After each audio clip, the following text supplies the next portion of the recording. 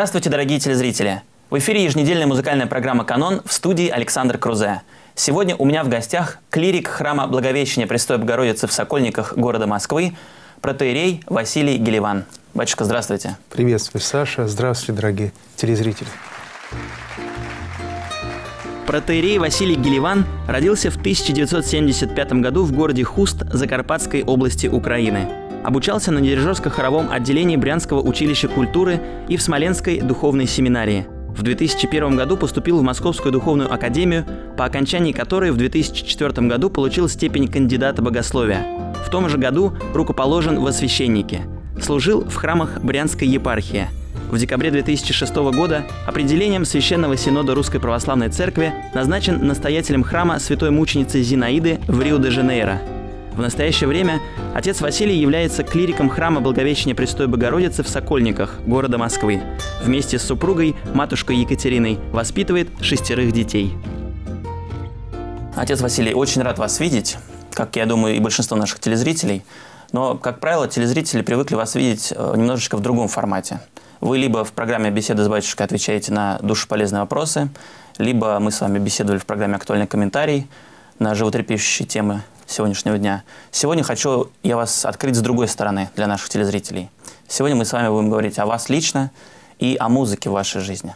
Я, я знаю, что радостью. эта страница очень важна для вас, музыкальная. Да, с какого-то времени уже я осознал, что это часть меня, и это даже по наследству передалось. Я сегодня расскажу про своего дедушку, да? про своего отца, своих братьев – так давайте и начнем с этого часть, тогда. часть этого большого процесса. То есть семья была музыкальной, да? Семья остается музыкальной, да. И я думаю, что ну, просто глубже мне не удалось еще искать. Но идет все от моего дедушки по маме.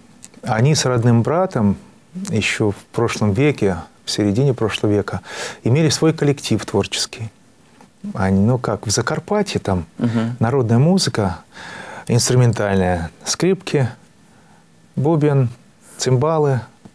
И вот это вот такое красивое сопровождение всегда было на свадьбах. Даже говорили, если его коллектив а, будет на свадьбе, то это будет достойный. Брак сильный будет. И, и имеется в виду, что само веселье и праздник будет хороший. Не знаю, каким будет сложиться отношением. Нет, нет. Речь идет о том, что там будет интересно. Ага. Это будет вечер наполненные эмоциями. Соответственно, если их не будет на свадьбе, то мы и не пойдем туда. Угу. Это закономерность была такая. Так что вот тогда русины распределялись и на территории современной Закарпатья, и Румынии, отчасти Венгрии, Чехии, Словакии. Но вы рассказывали, что вы чуть ли не за хлебом ходили. Да, у меня мой брат двоюродный, в да, за хлебом. Или... Это в Румынию. В Румынию. Да, в Румынию. Это вот в Закарпатье. Есть такой Раховский район, он на границе. Угу. И действительно, там упрощенный визовый режим, они там легко э, коммуницируют. Но это потому, что пошли навстречу русинам. Их же просто буквально отрезали таким росчерком пера. Получилось один тот же населенный пункт, но угу. вот на разных берегах этой реки. Грубо говоря, семью могли разделить так. И, да, ну так это все судьба, говорится, она аж метла такая. Ну и вот там это все зарождалось. А и... вы говорите, что папа тоже музыкальный? А пап, видишь, это по маминой линии, да, а еще и по папиной линии. Отец э, протеерей, он, конечно, музыкальный, и он как-то, ну, как всегда, любит так вот за столом посидеть, пообщаться, потом что-нибудь спеть украинскую, какую-нибудь uh-huh. старинную такую песню, хоровую, застольную песню. По-моему, колядки – неотъемлемая часть музыкальной культуры из самого детства.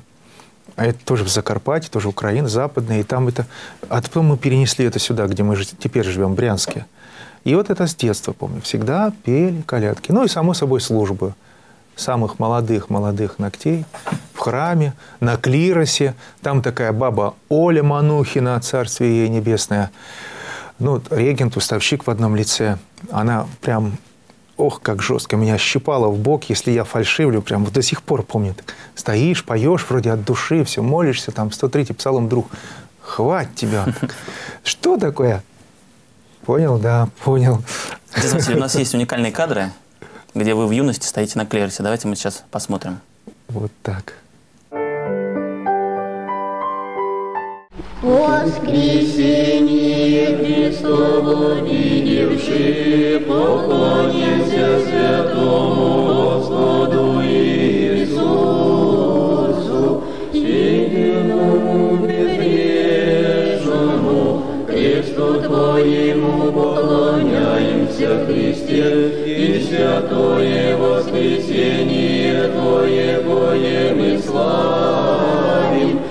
Василий, не так давно в соцсетях своих вы процитировали Федора Ивановича Шаляпина. Первое мое приобщение к песне произошло в русской церкви, в церковном хоре, писал великий наш Федор Иванович. Скажите, а вот с церковной музыкой вы познакомились в каком возрасте? Да, мне было 8 лет. А папа стал священником, и вся семья переехала в Россию. Это была Орловско-Брянская тогда епархия. Рукоположил его архиепископ Глеб Смирнов. Э, Сначала диаконом, а впоследствии очень скоро священником. И вот как только он получил уже э, рукоположение, он получил и указ э, в свой первый приход. Это была Брянская тогда область, но еще пока единая мет- это архиепископия. Там же не только церковное пение, а я еще там прикоснулся к фольклору. Да, именно там, в Голубее, я впервые услышал народные песни. Мгм. И это была песня «Посылала Ваню мати». Э, Вот бабушка Варя, Варвара, не помню фамилию, вот она пела эту песню. Там Бабушка-то уже давно в лучшем мире, а песня с нами. Вот так вот бывает. А может быть, мы эту песню исполним? Вы да, можно, хоть сейчас? фрагмент могу исполнить. Это народная песня из э, календарных. Э, В России, на Руси, э, в фольклоре это один из таких сегментов направления. Она не богословская, она не нравственная, или там, чтобы она призывала к чему-то. Это такое вот жатвенная песня. Помощь календарная. в, труд- в труде. Да, она очень, всегда очень тесно замкнута с э, временем года. В данном случае речь идет о, о уборке хлеба. Мгм. Посылала Ваню мать, вот ты посылала Ваню мать, вот чисто поля гулять. Вот чисто поля гулять, и вот и я рабова хлеба жать, а ржаного дожидать. А ржаного дожидать, и вот и Ваня жал, и жал, да и не жал, всего единственный покс жал. Всего единственно покси жалы, вот ты на сударушку заглядела, вот ты себе ручнику повредил, потекла серьезно кровь. Серьезно кровь, вот ты недалеку Маша жала, а вот и скорехоньку подбежала, а вот и Ване рученьку перевязала, перестала кровь идти. Посылала Ваню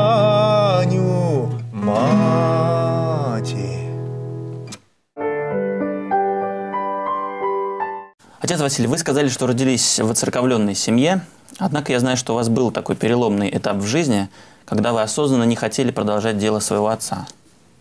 С чем это было связано? Это был какой-то подростковый протест? Наверное, отчасти да. Но преимущественно это был испуг перед той нагрузкой, которая ну, была очевидна. перед обществом? Нет, ну перед семьей, М. перед, может быть, перед обществом. Просто это видно было, что папы не бывает дома. Э, Жизнь священническая – это очень напряженная жизнь.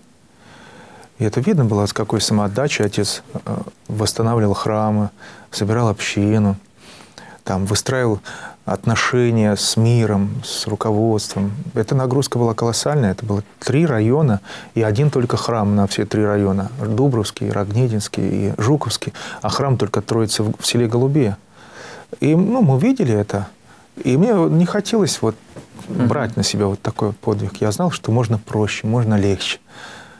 И да, это было такое. Но потом промысел Божий все равно привел через одного человека, которого я очень уважаю. И она сказала мне, вот Нина Викторовна Кулагина, говорит, много еще фольклористов. И Нина Викторовна Кулагина, надо сказать, что это ваш педагог в училище. Это педагог как вы попали в училища. училище? Давайте сначала разберемся А вот этим. через эту штуку. Просто играли, Опять же, музыку? музыка, да, музыка. Вообще это немножко раньше началось, надо отмотать еще на три года, когда еще после восьмого класса, сейчас бы это было по девятый, я уже захотел куда-то пойти. Угу. Но куда-то, не куда-то, а музыкальный хотел. Понятия не имел, как это будет делать. То ли с гитарой, то ли с вокалом это будет связано. Но главное, чтобы это была музыка. Да? И отец предложил такой вот э, средний вариант. Давай на регента. Угу. То есть это уже будет уже церковное. Учиться, да? да, в Смоленское межепархиальное духовное училище угу. существовало уже. Потом уже вырастет учебное заведение до статуса духовной семинарии. Но тогда, в 91-м, это было еще училище. И я уже сделал свою первую попытку поступить туда. Сдал экзамены, там, собеседования, письменные, устные.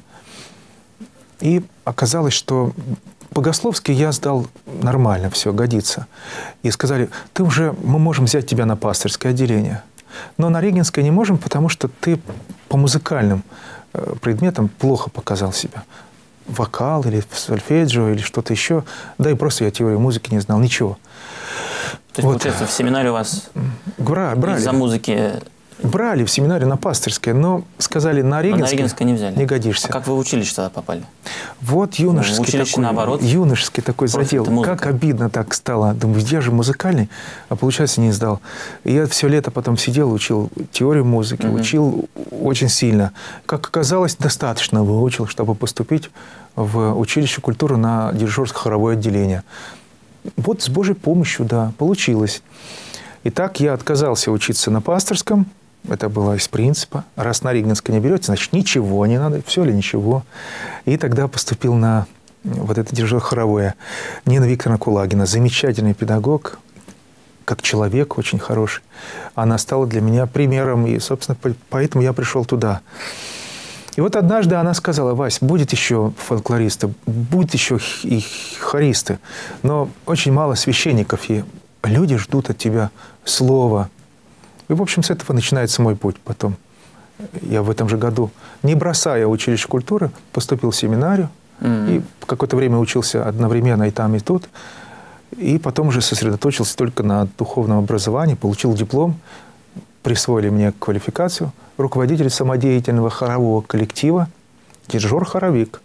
Ну что, прошу любить и жаловать. Это образование вам помогает? Очень помогло с первых же дней. Как только пришел в семинарию, сразу включился в, ну, в такой вот музыкальный. Потому что в церкви всегда ценился вокал, и будет цениться хоровое пение всегда в православной культуре. Так что уже с первого курса мы поехали с хором. Хор был готовый, я просто включился в этот хор. Угу. И мы поехали в Германию на большие концерты. И мы там пели и музыкальные, э, такие светские песни, и сопровождали богослужения. Угу. Отец ректор там пел.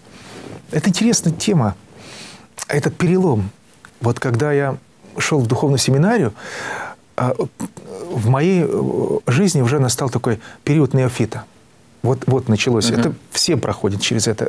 Чем бы человек ни занимался, он вначале должен отвергнуть все ради Христа. Я помню этот день. Я помню этот осенний день, да, 1 сентября. Мне нужно садиться на дизель-поезд, ехать из Дубровки в Смоленск. И вот уже за несколько минут до отправления этого поезда, э, уже готовы чемоданы, я беру в руки гитару и играю какой-то риф. А потом складываю эту гитару и вспоминаю слова из утренних молитв. «Дашь мне, Господи, послужить и Тебе, як уже послужих прежде сатане льстивому, наипаче возлюблю Тебя, Господи».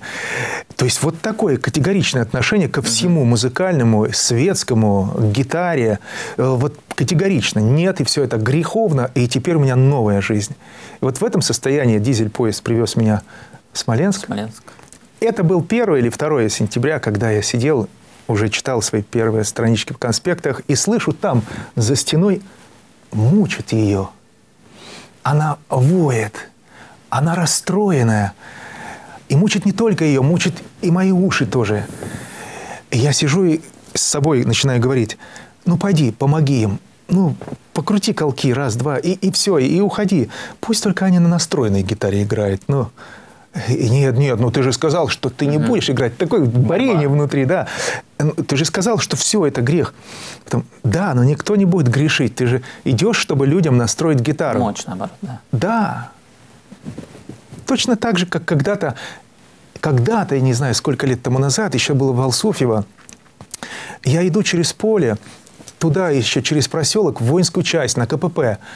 Я иду, чтобы вот тот дежурный солдатик настроил мою гитару, а потом я вернусь домой и э, самое, буду уже играть до следующего раза, пока она расстроится. Я пришел, он настроил, я говорю, а теперь спой. Я знаю, что так и будет, но что-то все-таки не дает мне слушать вот это вот. Вот, хорошо. Я уже подошел, постучался. Кто там? Говорю, вот я хочу вам помочь гитару настроить. А, ты умеешь настроить, давай. Я быстро им настроил, повернулся уходить. Говорит, подожди, теперь спой. Мгм. Ну, куда ж тут денешься? Старшеклассники просят.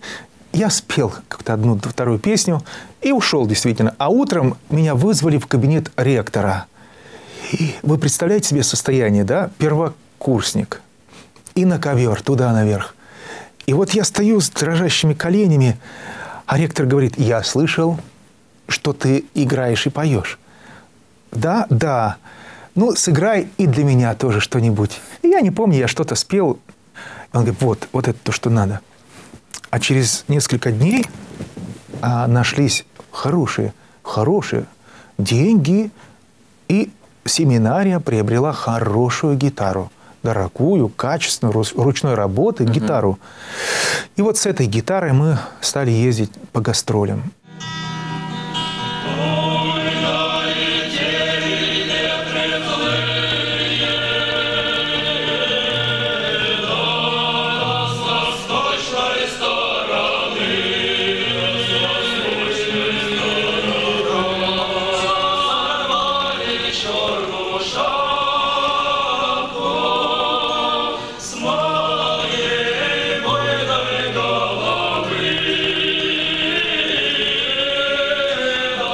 Годы были 90-е, годы были голодные. Вы подыгрывали или вы пели как Мы сколотили целый народный хор. Ага. Да. И у этого хора были руководители. Замечательный смоленский м, ну, музыкант Татьяна Федосова. У нее свой фоль- фольклорный коллектив. «Таусень», кажется, называется. И вот ее пригласили, чтобы она теоретически нас подковала. И она была нашим таким художественным руководителем. С ней мы обсуждали репертуар, предлагали отцу-ректору. Потом она делала хоровые партитуры, мы это перекладывали, изучали. И, собственно говоря, уже пели. И это пользовалось успехом. Но я знаю, я читал, что мечта ваша была петь в Троице Сергиевой Лавре в коллективе отца Матфея. Да, это И замечательно. эта мечта осуществилась. Да, да, я помню, как я сижу с митрополитом, ныне святейшим патриархом Кириллом, э, оно руководитель Смоленской епархии, епархиальный архиерей, и, и вот он говорит, Василий, оставайся здесь, в Смоленской семинарии, будешь регентом и учителем церковного пения. А я говорю, не, я хочу в Москву, в Лавру. Зачем? Я хочу петь у отца Матфея Мармыля. И владыка так удивился тогда, но благословил меня, да, раз я хочу, то надо. И действительно, потом началось, началось. Отец Матфей сразу дал мне управлять хором по будням. Мгм. И вот этот состав, когда нет отца Матфея в качестве регента, когда Василий Гелеван, он называл этот состав «базилиане». Отца Матфея вообще всегда В было честь хорошо. Василия, да? Да, в честь Василия. Базилиане, говорит, сейчас Базилиане поет. И так это мне нравилось. Он одновременно батя, очень тонкий человек, гениальный, безусловно, неповторимый. И вот вошел в мою жизнь. Я именно из-за него пришел в Лавру. И именно из-за него поступил в духовную академию, потом вернулся. на- потому что я когда-то пытался поступить в семинарию, не получилось. Я в Москву не поступил, и мы приехали снова в Смоленск. А потом, видишь, получается, в Смоленск со второго раза. Мгм. И в Лавру тоже со второго раза. Ну, так вот Господь ведет. Отец Василий, у вас достаточно много интересных событий в жизни, о которых мы, я предлагаю поговорить в следующем выпуске программы. А прямо сейчас давайте мы закончим этот выпуск каким-нибудь музыкальным подарком. Ну да, поскольку сейчас такое время духовного напряжения, э, я очень хочу спеть что-то вот из репертуара отца Романа, иеромонаха Романа Матюшина. Очень хорошо всем известную песню. И люблю, если есть такая возможность, чтобы подпевали мне. Поэтому, друзья, если есть желание, давайте с вами вместе споем песню «Родник».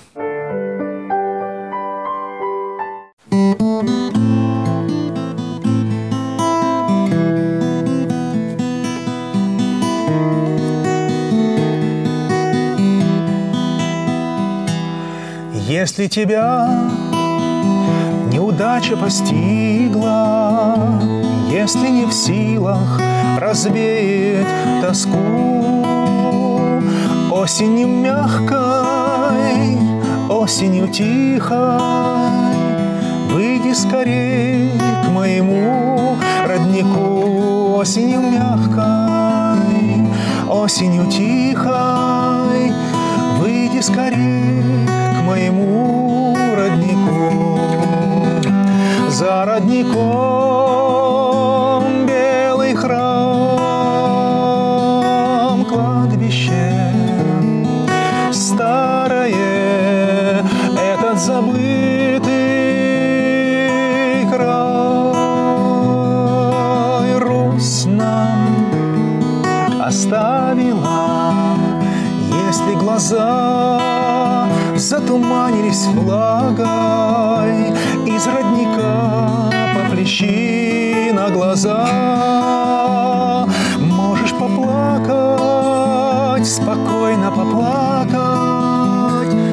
разберет, где вода, где слеза. Можешь поплакать, спокойно поплакать. Кто разберет, где вода, где слеза? За родником белый храм, кладбище старое, это забытый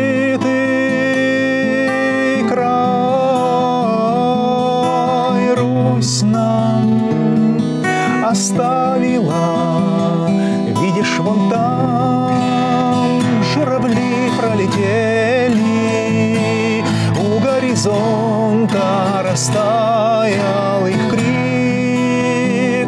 Если ты болен, прикован к постели, то пусть тебе снится целебный родник.